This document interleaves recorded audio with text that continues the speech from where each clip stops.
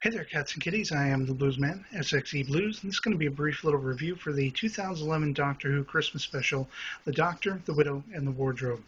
Uh, this was a pretty good episode overall, and, you know, in the line of Doctor Who Christmas specials we've seen over the past few years, you know, the last one was really good, this one was really good. They've all always been really good, but I think these last two have been some of the best. Uh, you know, that's probably down to Steven Moffat and the people behind the episode.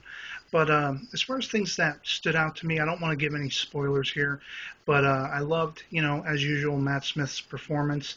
There was uh, some humor, you know, peppered throughout it, but it was a little more subdued than we've seen in other episodes, which was a plus. Um, I really loved his inquisitive nature coming to the fore, not really knowing what was going on on this planet, you know, with the trees and everything. And um, the guest cast, the mother and children, they were also spot on as well. I really enjoyed, you know, their performances, as well as the uh, three astronauts from Androzani. I loved that, by the way, the reference to Caves of Androzani, you know, going back to the Fifth Doctor, Peter Davison's final episodes and uh, little nods like that. We also got a reference to the Forest of Cheem, which, you know, Ninth Doctor and Rose era.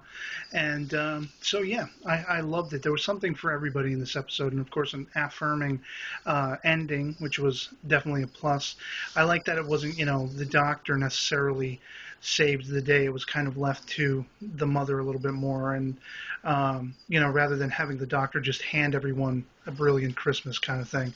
And uh, so, yeah, it was a definitely a thumbs up episode, and um, that's going to be all I have to say on it. So, uh, if you haven't seen it, I suggest you check it out. And otherwise, I hope this video finds you well. So, that'll be it for me, and I'll catch you all later.